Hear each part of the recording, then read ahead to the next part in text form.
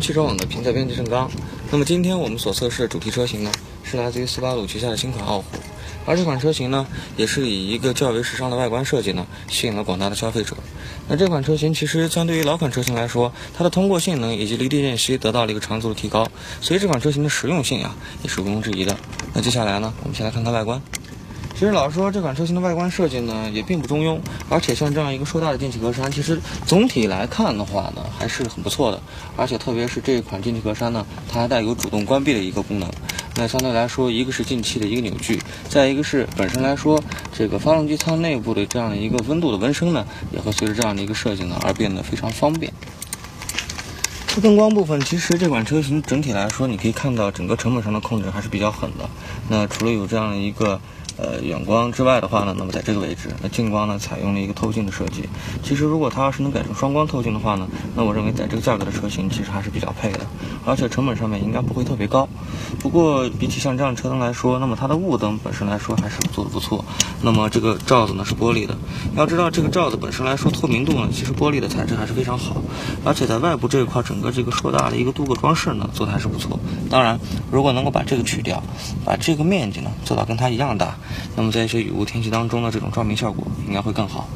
而我们注意到的是，这款车型应该是一个这个高配车型，而在高配车型当中呢，还带有一个自动大灯清洗功能。不过老实说，像这样的功能设计，一旦在你的高速行驶过程当中，它会变得可有可无，因为随着风速的影响呢，整个这一块的这个清洗呢，会变得比较鸡肋。其实这款车型还是很多程度上考虑到了一定的风阻系数。那么很简单的，可以从这个外后视镜能够看出来。那一些外后视镜对这个 A 柱的位置啊，可能会贴得比较近，那造成一定的风噪的同时，它在这种风切上面的这种噪音也是比较让人烦的。那这个时候可以看到，它本身来说这边还是有一定的距离的。而且像这样的一个初始化的设计，跟很多赛车是非常接近的。所以这样呢，一方面能够有一个比较好的一个可视角度，而同时在风噪上的处理呢，也做得不错。这款车型呢是一款来自于横滨的轮胎，可以看到这个优卡玛的轮胎材质呢还是非常不错的。那今天的地表温度呢也比较高，那，预布估计啊这个地表温度已经超过五十度了。但是可以看到从它整个材质上的一个这种测试过后这样的一个表现还是很不错的。而这种这个轮毂可以看得到，那么这个铝合金的材质，那对比一些韩系车型来说，其实像这种进口的日系车在这种材质上的用料还是很扎实的。那经常断裂的轮毂这样的事情，在这种车型上面呢并不会经常看到。我们来看一下这个车型的这个轮毂的尺寸，可以看到是个十七寸的轮毂，二六五六五 L 七。那这款车型其实总的来说应该算作是一款这种休旅车，而实际上我们今天呢也会把它放到这个赛道当中来看一下，在这种铺装路面下呢，这个车型的实际操控表现，也看看它的极限在哪里。那么前排呢是一个通风盘，可以看到这个盘呢是比较大的，而且像这样的一个活塞式的一个卡钳，基本上也能够提供足够的这种抓地能力。那尤其是在制动的时候呢，这款车型的表现真的是非常不错。那也请大家呢仔细看我们今天所给大家提供的这个实际实地测试视频啊，这样的话呢也能够有一个比较好的直观的了解。这款车型最大的改善其实是来自于它的离地间隙，可以看到离地间隙相当高。而之前在 4S 店的时候呢，我们能够看到这个离地间隙最高的高度其实已经达到了二百五十。那以这样的一个实际的离地高度表现，我们呢也会将这款车型开到一些较为复杂的路况下，看看这个车型的接近角、离去角以及通过性能的表现，这个实际上的一种感受。而在看到整个车身侧方的时候，其实可以看到这个车型更多的像一款旅行车。没错，这个车型其实在整个地柱这一块的这个设计呢，也是完全遵循了一个旅行车的设计理念。所以在后排乘坐的时候，相对这种乘坐的质感应该还是不错的。而上方的这个行李架呢，本身来说强度表现一般，可以看到我用手晃的时候呢，这个就已经有很轻易的这样的一个间隙变化。所以这个的加装呢，还是请仔细慎重考虑一下。这款车型其实在尾灯上的设计呢，没有过多的时尚元素。但是好在这个本身的材质做的还是比较不错，除了这两边用的是一个卤素的这样的一个光源之外呢，那么在这个位置其实还是模仿了一种这个 LED 的这种发光的光源设计。那总体来说，这种光切的这种效果呢还是不错的，而且像顶部啊这一块设计这样的一个柔珠这样的一个造型，也是能够让整个这个光源呢不会有直射的这样一个问题。当然，如果说它这个光源能够换成 LED 的，会更好。那么这边呢是一个原车位置设计的一个摄像头，可以看到在这边的这个位置和镶嵌做的还是很不错，而且下部的这一块的这个角度呢，也是能够将我们后方呢看得非常仔细。不过相对于这个车标的位置来说，它还是有一定的偏置。那像这样的问题呢，其实如果能够做成中置的话，我们的这个偏置角呢应该会消失。而在这个倒车雷达方面，这个就比较可惜了。可以看到，这个倒车雷达本身来说，这种。呃，成本上的控制还是太狠了一点，因为这个如果你做成这种隐藏式的话，这种体积上这种比例看起来会非常的好看。可以看到这个尾部啊，整体来说的这个爆边设计我还是比较喜欢的，它很高，而且这个离去角的表现应该还算不错。那作为一台这种多功能修理车来说的话，有这样的一个通过性能表现还是很满意的。可以看到尾排在这个位置。那么像这样的一款车型设计呢，它是本身搭载了一款2.5升自然吸气的发动机，所以以这样的一款大排量的车型设计，它这种单出的这种排气管的设计呢，还是无法理解。因为要知道这款车型它在中高转速下才是需要出力的地方，而在这个转速区间之内呢，那么排气的顺畅度才是一个最为重要的地方。所以如果要是有一些兴趣人的话，也可以将它改成这种中置双出式的，这样的话呢，无论是在配重还是在这个整个排气的顺畅度上会更好。接下来呢，我们就来实际测试一下这款车型的实际乘坐空间，看看这款车型它的外观的修理设计是否也一如既往的呢延伸到了整个车内的这个前后排的空间上面。我们先来看一下。首先开启车门的时候，其实这个车门的铰链的位置呢还是相对较清晰的。不过在一些关键点的位置呢，这种呃缓冲过渡呢还是相对柔和了一些。如果它能够再硬一点的话，相信这个质感呢会有进一步的提升。而在车门内部的胶条部分呢，其实可以看到的是这款车型的这种胶条的材质非常棒，而且表面非常的光滑。可以看到这种一次成型的这种工艺啊，在斯巴鲁的身上做的真是非常淋漓尽致了。那么在车门内部呢，可以看到这样的一个包边式的设计，而这种包边式设计呢，它呢是主要体现在了这个位置，也就是说。它或多或少的还是将侧裙的这个一个部分呢进行了这种包裹，而包裹之后呢，车门的边沿呢不再会有一些大量的灰尘聚集，这一点来说也是比较细心。不过如果能够包下去的话，会更好看。那么接下来呢，我们就来先看一下这个车型的这种实际乘坐空间。前排的乘坐这块来说没有太多的问题，而且以我现在这个一米七六的身高，总体来说这个 A 柱的设计呢，虽然说是考虑到了风阻力学的设计理念，但是并不会有太大的影响。那么接下来我们来看一下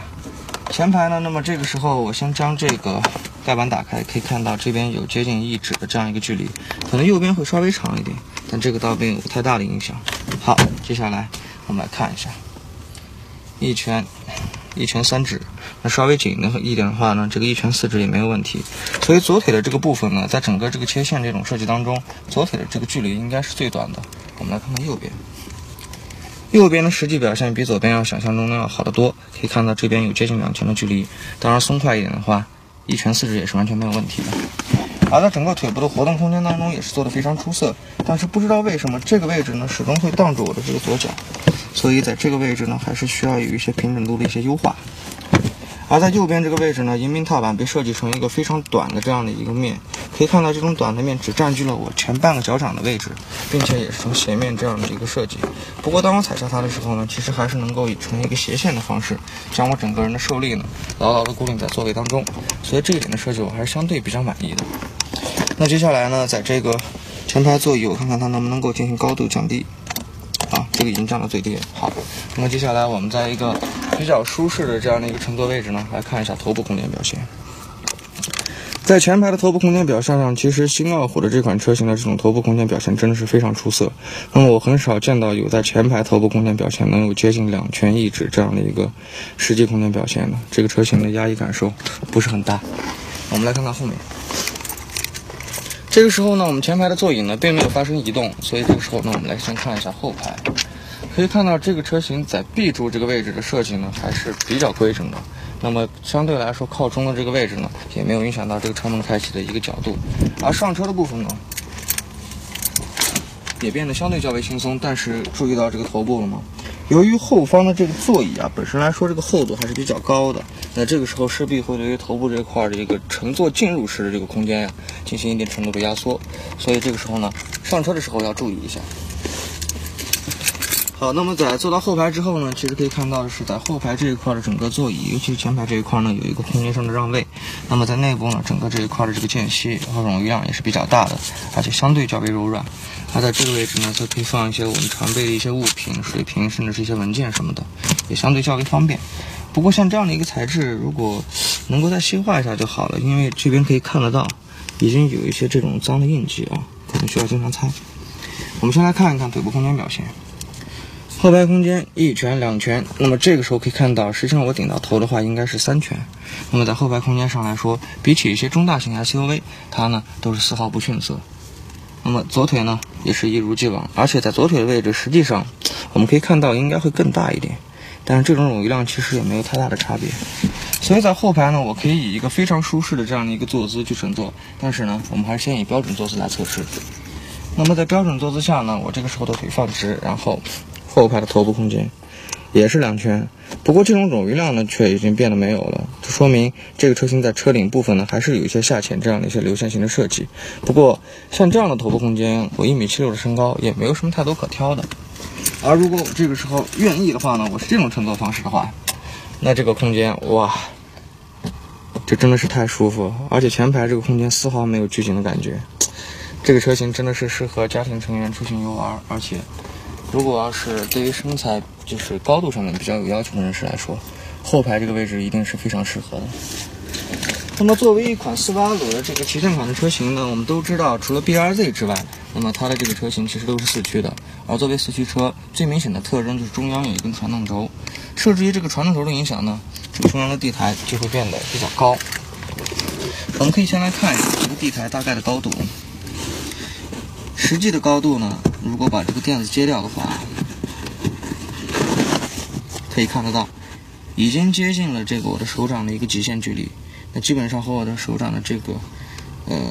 边缘呢齐平了。那像这样的一个高度，其实在很多次驱车当中是无法避免的。当然，不可否认的是，斯巴鲁把它做到了，应该算是一个极限。我是指高度的极限。而在这个脚部的放置上面来说，我的这个鞋子的尺码呢是四十一，可以看到在下方这个位置呢，整个这一块是隆起的，那么我的脚没有办法完全放平，所以在乘坐的时候呢，更多的时候我们会选择像这样放置。当然，在后排这一块整个这个扶手箱的处理上面来说，像这个烟灰缸，其实在如今呃戒烟的这个意识和环保意识比较强的当下呢，可以完全把它稍微再收一些。那这样的话呢，我们少一个烟灰缸，但是实用层面来说会大大增加。那么，其实，在后排乘坐上来说，这个座椅呢，包括像这种打孔的这种材质，以及整个柔软度来说，做的还算不错。虽然说没有一些太多的新意，但总体来说的舒适度呢，也还是很好的。可以看到这边的位置呢，设计有这样的一个安全带的一个卡槽。那么，在我们的实际测试过程当中，其实可以看到，这种东西是很难进行一个非常容易或者说轻易的这样一个收折。但是像这样的一个设计理念还是非常好。如果将整个下方这一块的这个水平位置呢再增厚一些的话，那么这样的收折应该会变得非常齐平。而在这个位置可以看到的是，像这个儿童安全座椅的挂扣呢，那么它呢也会在这个里面藏着。我的手这个声音可以听得到，这个呢就是安全挂扣的声音，做的还算不错。而在中央扶手箱这一块呢，这个头枕取开之后，其实可以看到的是。呃，相对于两边这种比较扎实的头枕来说，中央头枕这一块呢，并没有做一个减配，那材质上做的也是非常棒。我们打开这个扶手来看一下，其实这个部分呢，也是在全车当中啊，我唯一看到的一个这种木纹的内饰。那相对来说，这种长度上来说也是非常不错的。嗯，总体来说做的还算不错。但是像这种内部的这个线位啊，在这个结构上来说的话呢，会不会随着这个时间长了以后，可能会有一些这个。这边可能会有些断裂的问题，这个还是要做一个打一个问号。但总体来说的话呢，也没有太多的问题在，而且材质部分也是保持的这个一致度非常高。而接下来呢，我们来看看这个车型的这个。实际的置物空间表现如何？这款车型它这个实际容积呢，在说明书上的标称达到了五百一十二升，而像这样的一个普通的标准储物空间表现，其实还算不错。但是我们可以看到的是，在这个座椅后方这个位置，由于它本身这个座椅的角度的靠背呢是可以调整的，那这个时候可以看到这个物品啊，本身来说还是有一定的挤压的问题。当然，如果你先放进去物品的话呢，可能会有这个问题；后放进去的话呢，则会好一些。而在拓展空间方面，我们现在呢可以看一下。那么在这两边呢都有这样的一个拉手，很方便。而把这个拉手拉完之后呢，可以看到整个这个座椅的折叠状况。其实，在后方坐的这个位置呢，相对来说还是比较平的。可以看到这款车型它的这个在居家旅行上面来说的这个空间拓展能力呢非常强。而接下来呢，在看完了这个车辆的整体的空间演示之后呢，包括像在内饰方面来说，我们也会给大家做一个详细的介绍。而接下来，我们上路来看一下这个车型的一个实际驾驶感受到底表现如何。那么接下来呢，我就坐到了今天所测试的这款主题车型全新斯巴鲁傲虎的车内。其实可以看到的是，傲虎虽然说像这样的一款车型，在外观设计上以及在空间拓展上来说，都是或多或少呢有了一些更多民用的这样一个层面的倾向。但是我们仍然能够看到它的一些这种基本的运动属性。首先，我们先来看看这款车的仪表盘，整体的这种一次搪塑性的这样的一个一体成型的仪表呢，在整个柔软度这块来说和手感上都没有问题。而经过较长时间的高温暴晒之后，让我出乎意料二是，上方的这块这个材质的用量，导致这个整个中控台的温度呢，并不是特别高，我的手呢是能够放得住的。所以这块来说呢，也是和其他车厂呢有一些这种呃在细节上面的一些不同。那么在空调出风口上可以看到的是，像这种空调出风口的设计呢，也是一个中规中矩这种传统布局型设计。那么在左右两侧的位置呢，这个冗余量是比较大的，角度调整的这个都比较宽泛。而在中央这个位置呢，这种横向角度啊还是比较小，所以比起那种圆形的出风口来说，在这种角度调节上的效率呢并不是很高。那么首先来说，我们先解锁这个方向盘。这个方向盘呢，整本身的这个锁控机构是电控的，所以说在解锁完毕之后呢，其实，呃，在转向角上面这种表现还是不错。可以看到这种材质，包括像这种 M 号这种运动方式的这种风格呢，我还是比较喜欢的。当然了，在这个后方呢，还有这种换挡拨片的设计。那么这个换挡拨片的设计，一会儿呢，我会给大家来演示一下，看看它的这个效率足不足够高。那么在我的左侧这一块这个区域呢，可以看到整个门板上面的这个包边采用了一个比较软的一个结构的设计。那么像这种软质材质呢，总体来说是手感还算不错，但是比较薄，所以还是手感上面稍微欠一点。而在门板这个部分的位置呢，则采用这种打孔透气式的这种皮质，那么再加上下方也是采用软质的，所以至少在车门上半部的这一块来说手感呢，还是相当不错。而在整个缝线这一块的工艺呢，也较为满意。而在这个外后视镜的部分呢，可以看到可以电动折叠，可以左右调整镜片的这个角度。那在外后视镜的这一侧可以看到，如果这个转向灯一旦有故障的话呢，那通过这个小窗就可以看得到它是否是正常点亮或者工作的。四门一键电动的车窗，而在这个车门部分的这个水平放置位呢，我来给大家测试一下。以我们今天测试的这个道具为例，那。这个时候可以看到的是，这种水平放置位做的还是很不错的，而且上方的这个冗余量是完全足够。当然，比这个水平再稍微大一点的那种饮料呢，应该是没有办法的。而在其他的部分的这个位置呢，其实卡的就比较紧了。当然，在这个部分呢，通常是用来放一些抹布或者是放一些其他的清洁用具，所以这个方面呢，倒是不用太过于担心。而在左侧的这个位置呢，也就是我们所说的这个呃辅助控制区域，可以看到的是这边是这个尾箱盖的电控开启，以及尾箱盖的电控角度记忆，那包括像这个呃仪表灯光的亮度调节，以及这边的一个 ESP 的一个按键和即停即走这样一个功能操作。那么在高配车型当中呢，还有两个功能可以选择副驾。而这个时候呢，我们再回归到整个这个车辆的整个仪表，包括像整个方向盘。那么在方向盘部分左侧这个位置呢，是我们的中央信息屏幕的一个设定和读取，包括像这个呃娱乐功能的这个存储介质的选择也在这个位置。而在右侧呢，则是我们的这个定速巡航。但是可以看到的是，除了这个普通的定速巡航操作界面之外，在下方还有两个按键，分别是一个 I 和一个 S。那在斯巴鲁的这种设计当中呢，其实它的四驱系统呢是有一些这种有针对性的这样的一些选择。那在激活 i 的格式下呢，那么像这种模式其实是我们的家用模式。那这种时候呢，通常情况下，这种车辆的这种驾驶特质会偏向于舒适。而在激活 S 模式下呢，这个时候则是我们的超级运动模式。而在这个傲虎车上来说，其实还有另外一种模式，那么则是在这个位置。可以看到这一台变速箱整个这一块的外观设计，包括像烤漆这块的材质还是比较考究的。而整个挡把的这一块的手感呢，做的也相当不错，并没有任何的异响。EPB 电子手刹，而且在这个位置有一个坡道辅助系统。那么当激活它的时候呢，这个坡道辅助系统就会工作。而在这个位置呢，则是我们的一个全地形模式。那激活它之后呢，电脑会自动的去判断当前的路面的状况，然后分配给车辆最好的一个前后轮的扭矩输出。所以这个功能也算是一个超级运动模式，非常棒。它在中控台部分的这个位置呢，可以看到的是，呢内部有一个点烟器，然后有一个高清的数据线接口和一个 USB 接口。但不知为何的是，这个东西呢，它本身是松开的，可能是天长日久的这个原因造成。那么在内部的固定呢，多多少少还是有一些问题。希望新车没有这些问题存在。然后在空调面板呢，可以看到的是像这样的一个面板，其实如果你擦干净它的话呢，还是很漂亮的。但是本身来说，这个漆的颜色显得比较暗，所以看起来整个这块的面板呢，也受这样的一个色色系搭配的影响，看起来是比较单调和低沉一些。而在上方呢，则是我们的这个两侧的座椅垫加热，分别为三段的加热处理，做的比较好。而这个位置则是我们的时钟选取。那么，再说到整个斯巴鲁的这个娱乐功能上面来说，像以前的车型，包括像 STI 这些车型，可能都是用一些机械旋钮式或者是一些这种触控按钮式的。而首次呢，在这个车型上面呢，则会有了一些不一样的进步。我们可以看到，这个面板本身来说，它的这种设定啊，本身来说是采用了这种完全触控式的面板。那么也可以看得到，这边做的是非常的棒，而且手机连接、收音机以及我们的这个行车主页，包括像是这样的一个 DVD 这样的一个功能读取。也是做的非常的棒。那么接下来呢，我们来看看这个车辆其他的部分。除了这个拉丝面板工艺之外，我还是比较喜欢的，因为如果有拉丝面板的话，那么你一定会有银色的这样的一个色系搭配才会比较好看。而这个时候呢，像在内部我们可以看到是这边可以放一些水杯，或者是放我们这样一个比较漂亮的车钥匙，质感还是不错的。当然，除了这个位置之外，我似乎也很难找到其他的位置呢进行放置。而放到这边的时候呢，又比较容易遗忘，所以对我来说还是有一些问题在。可以看到，在这边杯架的限位呢，整个这个水平是完全没有起到限位的作用，那么在里面还是处于这样的一种自由活动的状态。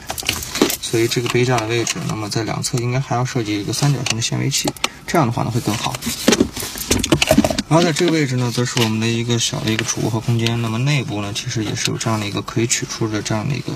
胶垫啊，做的还是不错。而且这个位置呢，可以用来放置一些停车场用的一些钱币。当然，在咱们国内的时候呢，一般情况下都是刷卡，所以像这样的一些这种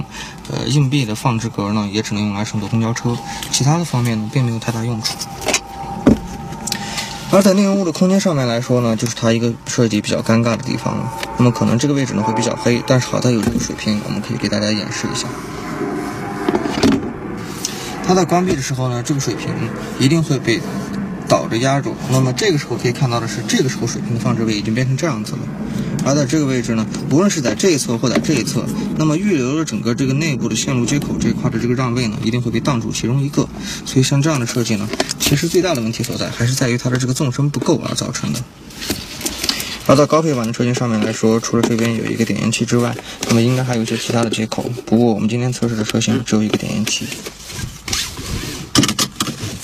这个座椅的乘坐舒适度来说，由于它本身来说是有电动调节的，所以这个呃腰部的这块的支撑，包括像是在整个座椅这块的一个高度以及角度来说，调节都相当方便。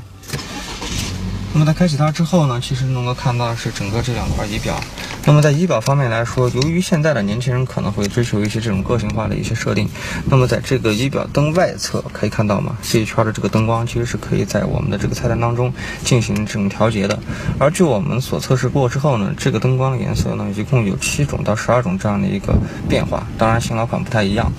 那么也可以看到的是，在目前为止，整个这一块的这个呃车型上面的一些信息显示，包括像当前的档位。以及当前选取的这个运行模式，还有像我们其他的一些东西，当然，比如说这个传感器上面的延伸，也做到了我们的油箱以及我们的这个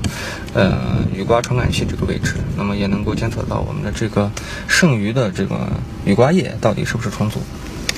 好，那接下来我们来来开上路看一看。那么 EPB 呢，这个时候已经自动解锁了，而这个时候我们看到的是这个车辆它的一个实际的一个行驶状态。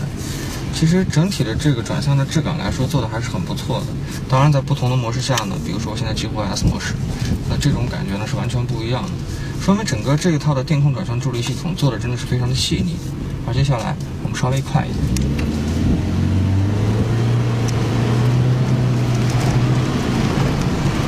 看到的是，在接近时速六十的情况下呢，这款车型在运动模式下，整个底盘的这个极限相当高，而这个时候转向呢，即便是有一些略微一些激烈的一些动作呢，也不会造成轮胎的响胎。所以看到整个这个底盘和悬架的这个呃兼容度，包括像是在极限上面的一个适应能力是相当强的。而这个时候呢，我们来试一下这个车的转弯半径。我们现在呢，先紧贴路边，然后我们怠速的模式下，开始掉头，一条车道，两条车道。三条车道将近用到了第四条车道的半个，也就是说用了三条半车道，我们就完成了这个原地倒头转向动作。所以在这个车型整体来说，你像拥有一个比较高的离地间隙，拥有一个尺寸比较大的车身，并且保证了车内前后排的空间的情况下，那这个车身的转向半径呢，做的也是比较偏向于运动化的。那至少比起一些这种比它小一号的 B 级车来说，也是丝毫不差。而在动力性上面来说，其实开2.5升的这一款车型，在这个整个这个变速箱的搭配下呢，那在前期的这个加速、整个这个提速表现来说，其实做的一般。我们很难够去体验到，就说是斯巴鲁的这个车型比较经典的一种暴力的加速推背感。但是显而易见的是，这款车型它本身的设计理念也并不是向这样的一个方向去研发的，而更多的是适合于家庭的成员出行，那比较适合于悠闲的驾驶。而在动力的储备上来说，这款2.5升的发动机这种动力储备也是相当的雄厚。只要车速具有一定的这种车速之后呢，那这个时候整体的这种加速质感还是相当好。而在说到了这个换挡拨片的时候呢，其实这个时候当我们切换到手动挡的时候，可以看到目前的这个档位是在四档。那接下来呢，我做一个非常快速的一个降档。可以看到非常的干净，也非常的利索。那么，即便是在冬天的情况下呢，如果这个车型它抛开四驱系统不谈的话，也是能够有一个比较敏捷的降档机制。所以在冬天路滑的情况下，这款车型再搭配有一个 AWD 的全时四驱系统，应该是相当出色的。在我介入到了整个手动的这个换挡了之后呢，整个换挡拨片这一块的这个反应让我非常满意。而在换挡的一瞬间，车辆往前。窜的那一下的这种感觉啊，真的是让我们觉得，呃，它骨子里面还是多多少少有一些运动的这样的一些基因在里面。而声浪的这个部分的处理呢，其实显得还是比较粗糙。我们呢没有听到那种特别原始、特别野性的那种煮开水的这种斯巴鲁车型所特有的这种声音，这个比较遗憾。不过整体的隔音做的还是不错的。那么即便是像我现在在转速达到两千五百转的时候，那我车内的这个正常谈话应该是没有问题的。而在这个整个悬挂的滤震上面来说，其实这个星耀虎的车型还是设定的比较细腻。那前段的时候的过滤呢，并不是特别充分，对于一些细小的路面上面的一些凹凸不平的这样的回馈呢，还是比较清晰的。但是到了一些较为大的颠簸路段的时候呢，这个车身本体的韧性还是做得非常棒，尤其是悬挂的这种张度啊，这种。范围呢还是比较宽的。那么在我们今天所测试的这个实际的绕桩环节当中呢，这个悬挂部分的拉伸将会变得非常长，而这个时候呢，四个轮子仍然能够紧紧贴着地面，这一点来说，应该是斯巴鲁在操控上面的一个精髓所在。而在这个时候呢，我们更多的是能看到的是这款引擎它的这个韧性非常强。而即便是我现在在手动模式下，我到三档的这个位置，那它呢也没有进行一个自动的换挡，而这个时候呢，从三千转到五千转的这种加速非常线性，而且随着这个转速的攀升，车速的攀升呢也是非常的敏捷。那如果你要是不想油耗太高，并且在日后呢能够节省一定的维修费用的话，那么这款2.5升的车型的动力，作为家用车来说，应该是足够。而在整个视野上面来说，其实，呃，这一款车型的这个整个前方的视野做的还是很棒。那么由于 A 柱本身这一块的角度呢是非常下沿的，所以我的这个盲区部分呢，有这个脚窗的配合，做的还是比较仔细和认真。那么在我这个掉头的过程当中，其实并没有过多的盲区体现出来。而在转向的部分当中的话呢，这款车型它的这个侧倾也并不是太大，所以在整体方面来看的话，它是一款不失为运动，同时也能够照顾一定程度舒适性的车。那这款车型也是完全背离了以往斯巴鲁车型它这种性能取向的设定。而接下来呢，我们会将这款车型开上有别于今天这样的一个铺装路面的一个复杂路面，来看一下这个车辆整体的通过状况到底如何。